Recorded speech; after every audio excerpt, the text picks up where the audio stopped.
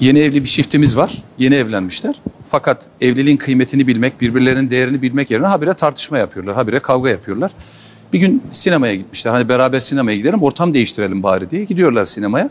Tam sinemada film başlayacakken hanımefendi mısır istiyor. Vay sen misin mısır isteyen? Yine bir tartışma, yine bir kavga. Tam o esnada 70 yaşında e, eşinin koluna sevgiyle, muhabbetle girmiş, onun gözlerine muhabbetle bakan bir yaşlı çift içeri giriyor. Onlar da beraber arkalarından sinemaya giriyorlar.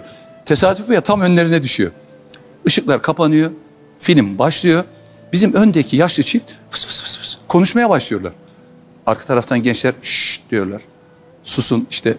Film boyunca sesini yani sesini kı- kısmak yerine daha az- azaltıyorlar. Yani sesini tamamen kesmek yerine daha azaltıyorlar ama konuşmaya devam ediyorlar.